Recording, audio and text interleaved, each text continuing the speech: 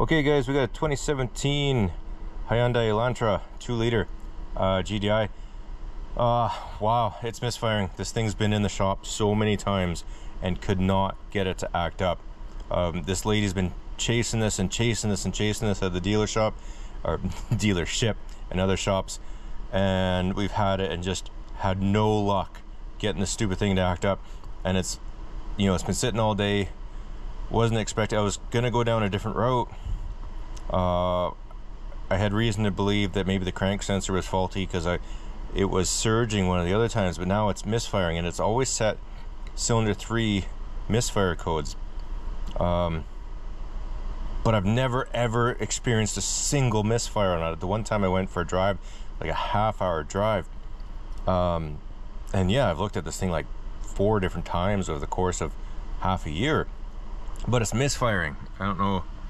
Yeah you're probably not going to be able to pick that up or anything or hear that but it's definitely misfiring. So let's see.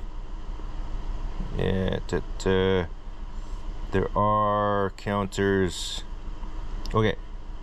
Cylinder 3 is a dead miss. Uh, I'm gonna see if I can while it's still misfiring I'm gonna see if I can quickly grab my um, secondary ignition pickup and see if I can catch that uh, whether or not it's ignition or fuel. So let me quickly try and get that set up. Okay so we got the pickup uh, we got the picoscope set up and she is bucking. Um, hmm. I think I'm gonna try and move this closer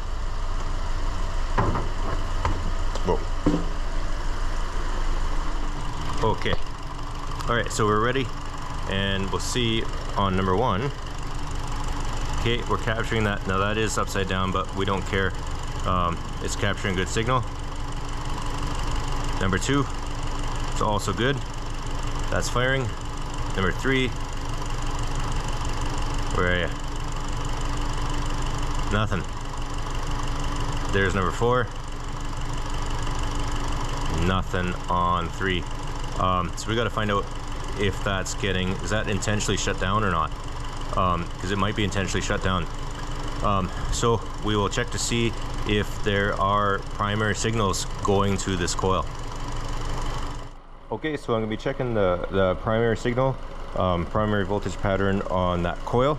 So if we look here, um, you guys can see that each each coil has a black wire in the front and then a red wire in the back. And the middle wire is the the difference. Um, hmm, we might not see a primary pattern on any of these uh, but we'll try the middle wire for our signal. That'll at least tell us if this thing is being intentionally shut down. Because if there's an injector problem the computer might intentionally shut that down. So we'll check that check it on a good one first. That's in there. And let's change this to 10 volts. And we'll change that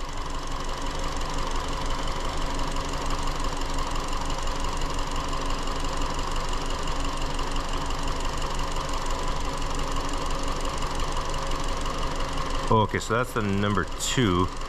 Um, hmm. It's catching some noise too, but that's okay. We can see that it's there. Maybe if I increase the time scale, we might be able to see too. Da, da, da. Perfect. Okay, so we, at least we can see that coil is being uh, triggered. So that's number two. Let's check number three. Oh, I'm so excited. This thing's actually acting up. It's a dead misfire too. Yeah, that, uh...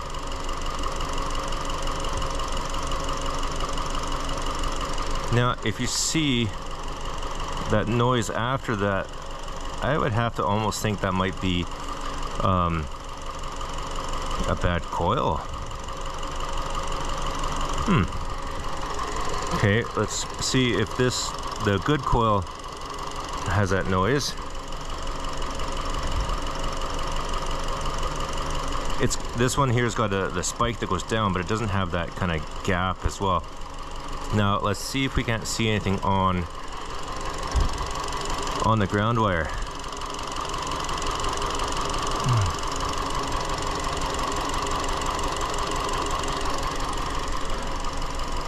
Maybe. Uh, uh, go here to 100. Whoa, 100 millivolts. What an idiot. 100 volts.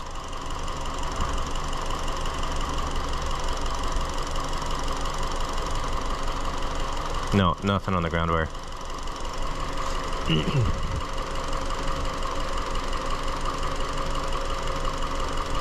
Okay, let's see if we can't see anything on this injector. Let me quickly pull this cover off and we'll see if the injector is firing.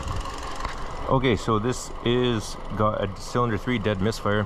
Um, so anytime you find a ignition coil not firing, you always want to find out is your injector firing. Um, because sometimes the computer can uh, command it not to, to fire the coil and intentionally shut it down. That can throw you for a loop.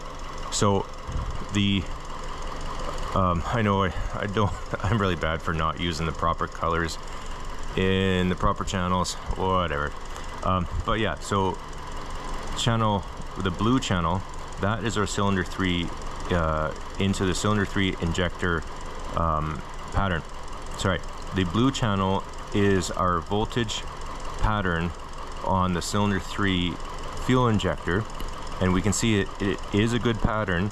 So if you look carefully, you can even see the pintle hump. So yes, we can say reasonably accurately that that cylinder, uh, that cylinder's fuel injector is firing. I know, I think when I first started this video and started the car, I called it a GDI. It's not a GDI, it's just regular port fuel injection. I just got so excited that it was misfiring. Finally! Um, so yeah, so we do see fuel injection we see the electrical signal that suggests fuel injection. So yes, you could have a screen in there that's plugged and it's physically not allowing fuel to go through there because it's mechanically blocked, but electrically it's working. So reasonably safe to assume that yes, it's working. Um, this red trace is the, uh, I should have actually set up the, whatever. So the red trace, that is the turn on signal for our cylinder 2 ignition coil. That's a good ignition coil. Um, and then the green trace is the turn on signal for the ignition coil for cylinder 3, which is the one that's a dead misfire. Now we do see that the square wave is not as tall. I do have both of these on just auto ranging. So I don't know if um, if it's just on a different scale. Let me bring this down.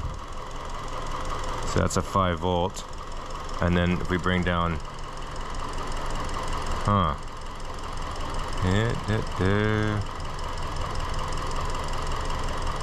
Okay, yeah, they are...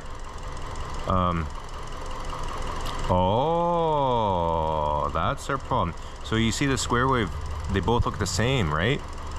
But the ground on them the ground on the the bad cylinder so our green trace which is cylinder th three I know it's it's easy to look at this green wire which is in cylinder two but um, the green trace is in the turn on signal for cylinder three and I'm looking at this square wave right here. It's not as tall as this square wave but look at the ground. So if we look at the peaks of that they're both at 5 voltage 5 volts. Um, sorry for not speaking, I'm just, oh my, I've tried so many times to get this thing act up and this is an unusual thing. Your, a coil is not going to fix that. We're talking like a computer or something because, so the peak is fine, um, but if we look down here, we can see that lines up with zero volts on the red trace.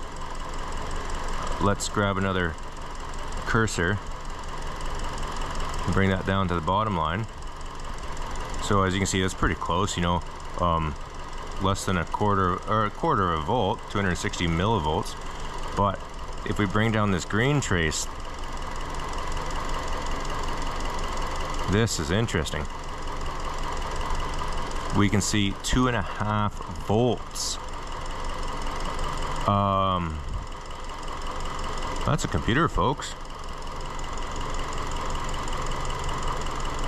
Because that's just a, a signal wire, right? So what's happening is, since this isn't, um, it's not the, the 0 to 5 square wave that it's expecting, so that coil is never turning on. It's never seeing this signal because this ground is so um, elevated. Um, hmm, I'm just trying to think of, is there any way that that could be anything other than a computer for a single coil? Um. Hmm. Let's go back to running this. I, I saved this pattern. Okay, so I can pull out of here. Uh, we won't, let's put the curse, let's put our trigger on, um, which channel do we want that on? Maybe the green channel, which would be um, C. Okay. And where is that? Okay. Bring that down.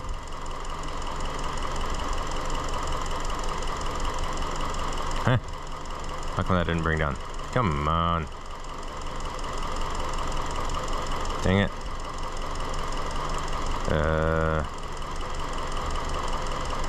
let's put you down to there. Eh, sure, that's not bad. There's still some noise in there, so it's not holding the... Whatever, we can work with that. So, I'm gonna pull this guy out. I wanna make sure that my power and, well, I wanna make sure my ground, this black wire for cylinder three, is actually zero volts. So that would be um, that would be our yellow wire, which is actually blue channel. So if we look at the blue channel, is all the way in the ground. Um, so that coil's ground is good. Um, so let's see what happens if we unplug it.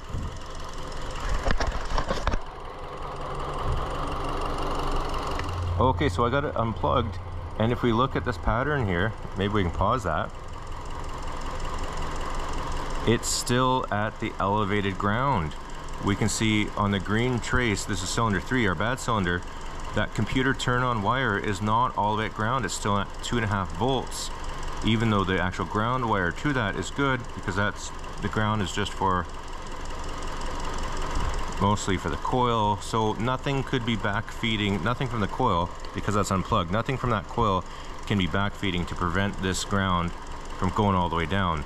So that's a computer. No wonder why it was working for so long.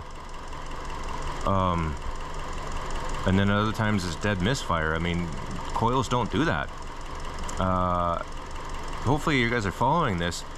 Um, you know, it's possible that something could have been bad in that coil causing that um, that to have an elevated ground level, but you know, with it unplugged, there's nothing left but the computer. Um, yeah, and all the other coils are, are fine. All the other control wires are fine. This one's all the way down at ground. It's only ever been a random issue on cylinder three. Um, you know, they've had so many coils, so many spark plugs, so many, so many, so many, so many, um, for so long on this car. So, um, I feel good calling a computer. Um, good thing I didn't uh, bother throwing anything else in there. No amount of coils, no amount of replacement coils in that cylinder would fix this problem. Um, so yeah, we'll just have to source one out and replace that and see what happens after that. But um, yeah, this coil is not seeing and not registering its turn on command. That's not what I was expecting. But no wonder why it was such a difficult problem for a lot of people to figure out because most people don't use scopes and stuff like this. Um, you know, yeah, it was cost lots of money and takes a lot of time to learn and be proficient and you get bosses yelling at you and whatnot. So you kind of have to do it on your own. But I like doing it and you get to learn neat, interesting things. Anyways, I was expecting this to be a, longer video, but uh, I guess uh, in this time, you know, proof's in the pudding. That's all there is to it. Anyways, uh, thanks for watching and hope you guys uh, enjoyed this one. We'll catch you next time.